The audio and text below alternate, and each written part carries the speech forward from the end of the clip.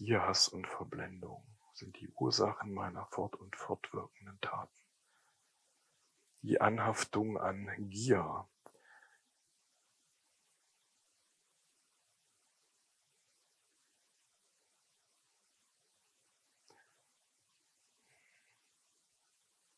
Ich glaube, ich muss gar nicht so weit ausholen. Es sind ja hier, die Zusammenkunft besteht ja aus Menschen, so wie ich das mitbekommen habe, die sich äh, mit dem Thema Spiritualität wahrscheinlich schon tiefgründig und auch zeitlich längere Zeit damit befassen. Ähm, aber vielleicht noch einige Hinweise, über die ich immer wieder stolpere, gestolpert bin oder auch auf dem Weg äh, mit Menschen stolpere wohin Gier führt in Form von Konzeptionen, von Identifikation. Davon kann, glaube ich, jeder so ein Lied singen, ja, in seinem persönlichen Umfeld. Und ich für mich, mir ist es wichtig, das immer wieder zu analysieren. Bei einem buddhistischen Vortrag gilt es eigentlich zu Anfang immer darum, erstmal die buddhistische Lehre von Grund auf heraus noch einmal darzulegen mit einfachen Worten.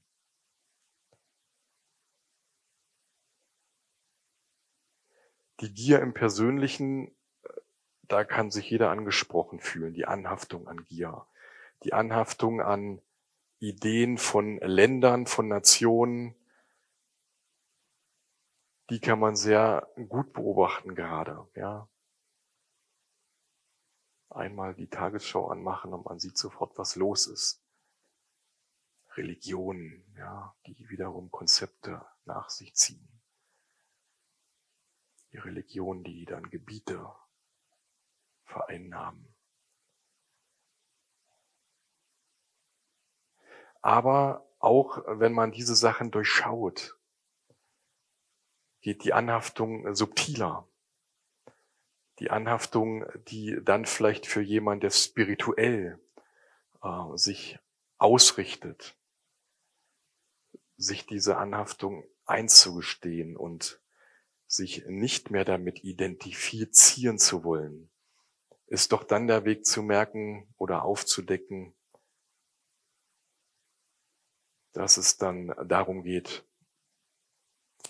zu sehen, wie undurchschaubar und was für ein Dschungel auch Hass in der subtilsten Form nach sich ziehen kann. Im Zen wird gesagt, wenn das hier, dieser Stock, deine Lebensspanne ist,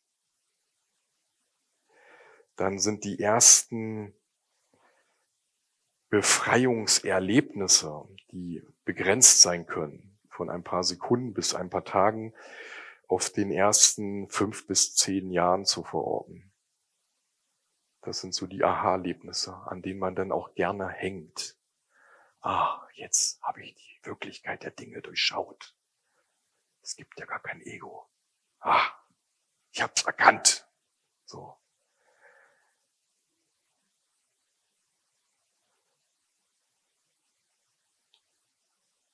Dann ist der nächste Abschnitt, und das ist der Rest des Lebens, des Zen-Lebens besteht darin, man nennt das Cultivation of Holy Buddhahood.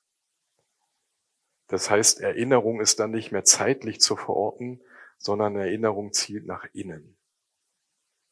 Und zwar in der Zeitlosigkeit, im Hier und Jetzt. Sich einzugestehen, dass da Anhaftung ist. Ich habe zwar erkannt, dass es kein Ego gibt, aber jetzt ist es weg. Jetzt bin ich wieder genauso wie vorher. Ich will erleuchtet sein. Ich will nicht verblendet sein. Ich will. Das zu durchschauen ist sehr subtil. Und dann fängt wieder das Laufen an. Dann fängt wieder das Laufen an. Die Rübe fängt wieder an. Die Tendenzen sind da, sehr viel feiner, sehr viel subtiler, aber es ist, derselbe Mechanismus.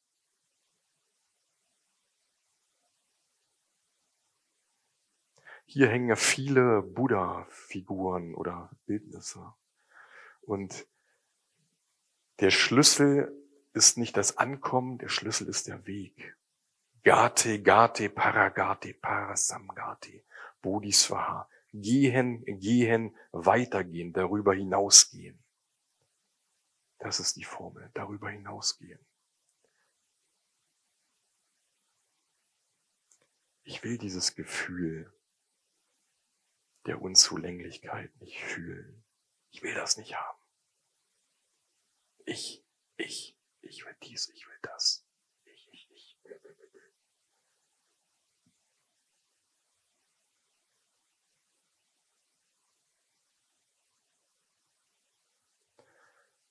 Im Idealfall geht man vom Groben zum Subtilen.